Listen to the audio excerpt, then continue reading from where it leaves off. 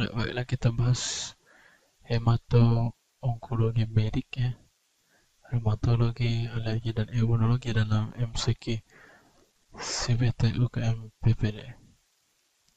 Nomor satu ini ditanya tentang pemeriksaan lab. Perempuan 40 tahun datang ke puskesmas dengan keluhan nyeri pada jari telunjuk tangan kanannya sejak kurang lebih satu minggu yang lalu. Tanda vital dalam batas normal ya. Pemeriksaan fisik ada pembengkakan pada jari telunjuknya, jari saat jari diekstensi. Ini adalah kasus untuk tenosynovitis ya. Jadi kita periksa LED lanjut endap darah. Jari ekstensi ini adalah sign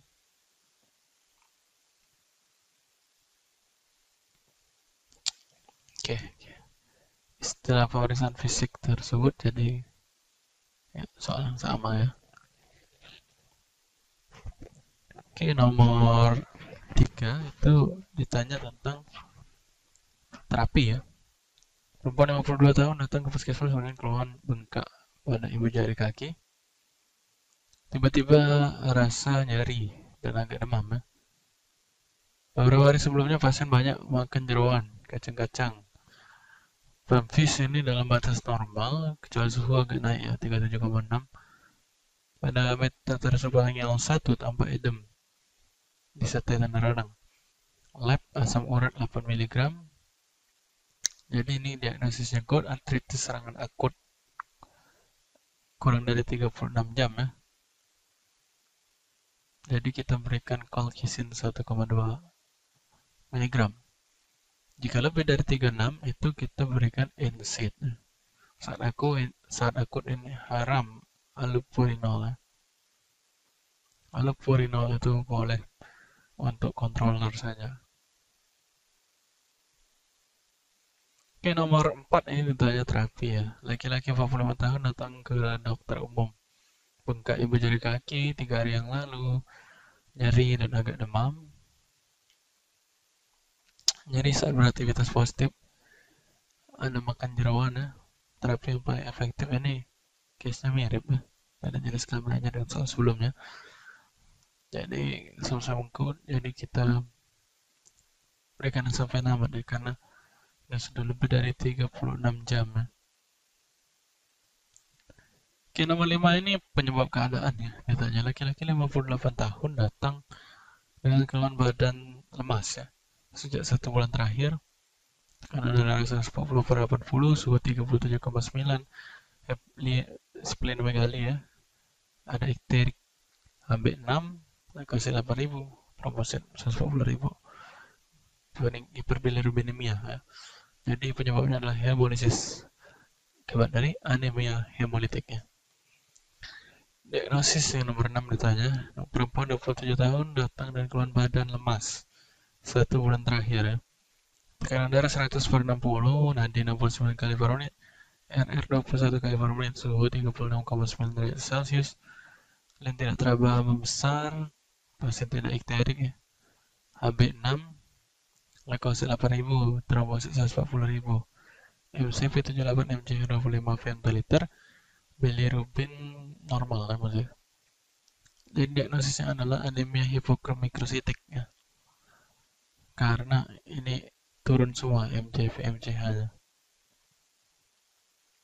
jika ada ekterik itu hemolitiknya oke nomor 7 pemeriksaan penunjang ya. Perempuan 29 tahun G3 P2A0 hamil 16 sampai 18 minggu kurang nafsu makan badan terasa lemas. Anak terkecil 15 bulan masih ada ASI tekanan darah 100 per 60, nadi 69 kali per menit, RR 21 kali per menit, suhu 36,9 derajat Celcius yang tidak terlalu besar, pasien tidak tampak ikterik, TFU 2 jari di bawah umbilicus, ada balut teman, DJ 158 kali per menit, HB 8,2, leukosit 8000, trombosit 100 per 1000, MCV, JAC turun ya, hipokromikrositer,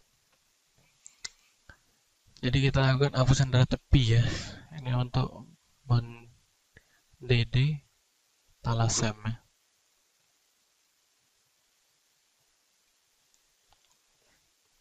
Oke, nomor 8 ini penyebab anemia ditanya laki-laki 17 tahun datang ke puskesmas pucat ya, kurang nafsu makan, badan terasa lemas sejak satu bulan terakhir, adalah vegetarian, nanti 94 kali merunin, R15 kali, suhu satu splenomegali, tidak tampak iterik, HB 5,2, leukosit trombosit, leuko, leukopenia trombositopenia, MCV 118 bilirubin normal retikulasi 0,9% serum ion 100 mikrogram TBC 300 mikrogram.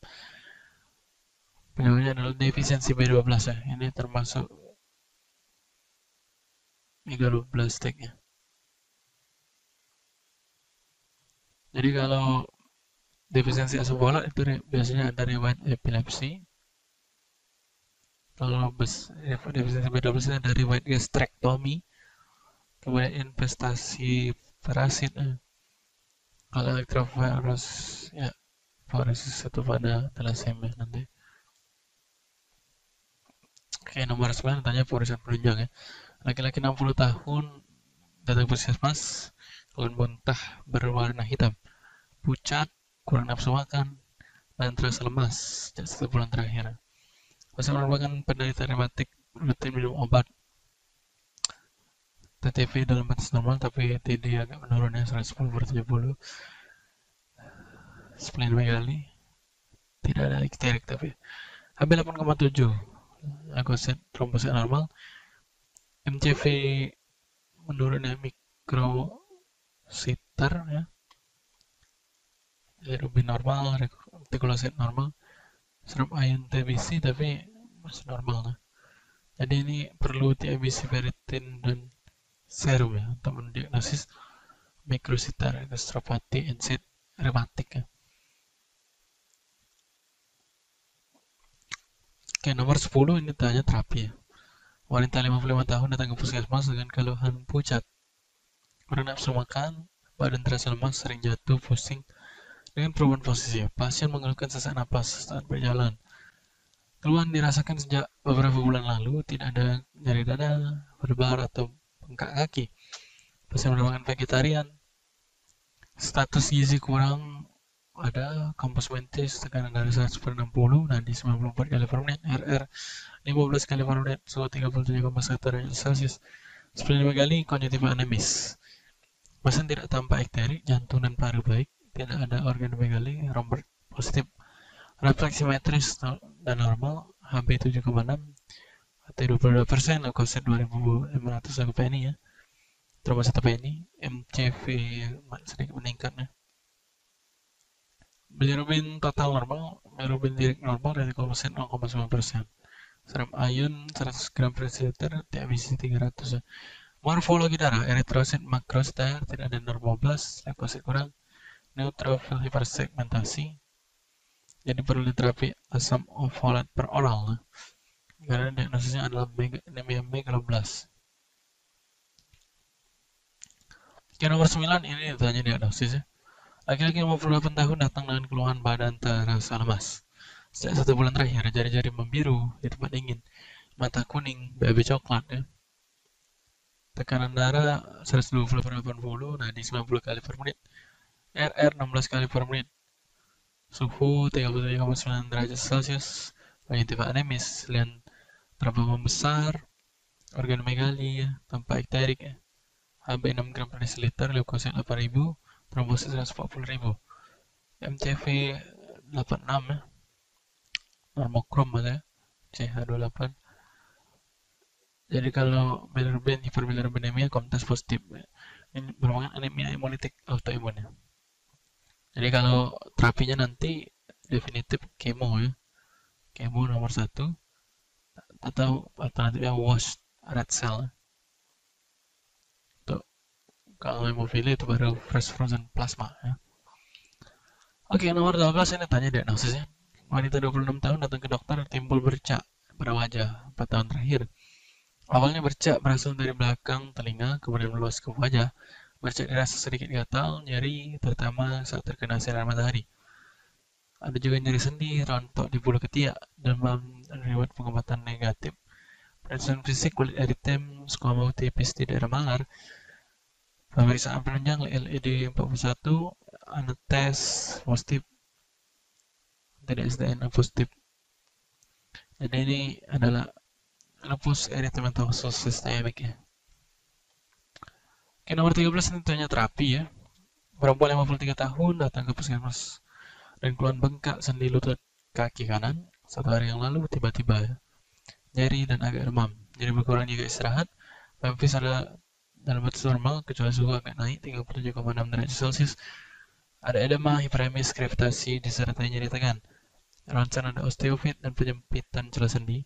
Dan diagnosisnya osteoartritis.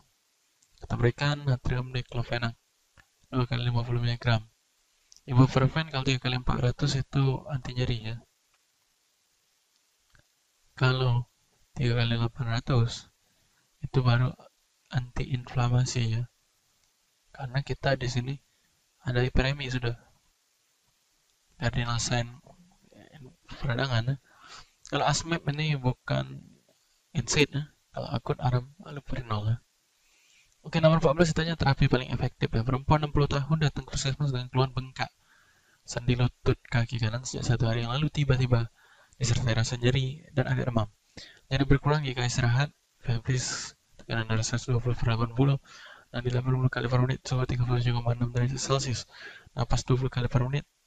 Berat badan 74, tinggi badan 150, visual analog scale 3 per 10. Pada Memphis tampak edema, hiperemi, gravitasi hangat disertai daya tekan ronsen belum dilakukan ya jadi kita harus diagnosisnya ini OA sehingga kita berikan NC terhadap plus latihan diet dan aktivitasnya oke nomor 15 yang ditanya diagnosisnya Tuan Y usia 38 tahun datang ke puskesmas dengan keluhan kesemutan. Pada sendi jari tangan dan kaki. Sejak tujuh hari yang lalu tiba-tiba setelah rasa nyeri dan agak demam nyeri bertambah di pagi hari. Persen fisik mungkin dalam normal kecuali suhu agak naik. BB 64 kg tinggi badan 150 fast 3 per 10 pada Memphis ada edem, hiperemi, gravitasi hangat jadi tekan swan neck positif ronsen belum dilakukan jadi ini diagnosisnya rheumatoid arthritis kalau lesi proximal itu Boutoinere OA itu HDBP Heberdun distal Bochart itu proximal.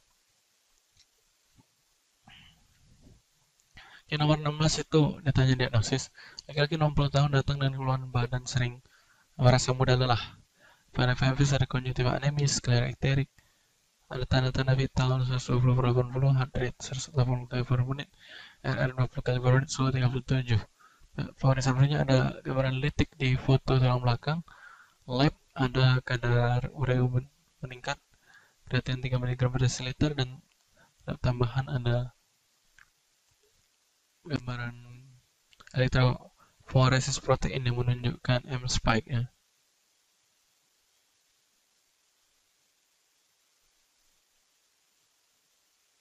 Elektro atau listrik foresis kemudian hanya peningkatan fraksi gamma ya gamma protein yang terdiri dari imunoglobulin. Peningkatan kadar imunoglobulin sering ditemukan pada pasien multiple myeloma ya. Jadi ini keywordnya. Lymphoma Hodgkin itu keywordnya ada. Non Hodgkin ada series eyes Hodgkin itu ada all eyes kalau acute myeloid leukemia itu ada aura rod pada dari tepi. Kalau acute lymphoblastic leukemia itu ada cell blast. Yang nomor 17 tanya terapi yang paling efektif ya. Perempuan 55 tahun datang ke dok. Praktek dokter umum dengan keluhan bengkak pada ibu jari kaki itu jari yang lalu secara tiba-tiba dirasa tai rasa nyeri dan demam. Nyeri bersama aktivitas positif di pagi hari.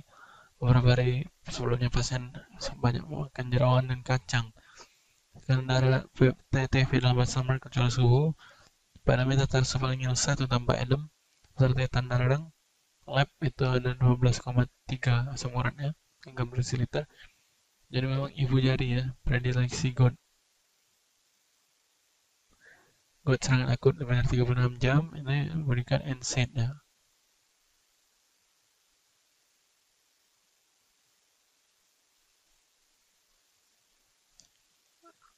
tahun nol ya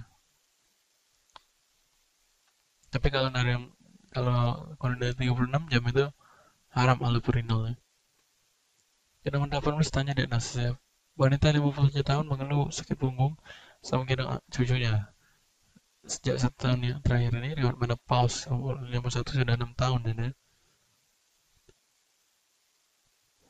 Pada pemeriksaan didapatkan nasal kiposis, bone mass density vertebral minus 3, dan ditolong punggung mass 2,6 jadi ini post post osteoporosis ya.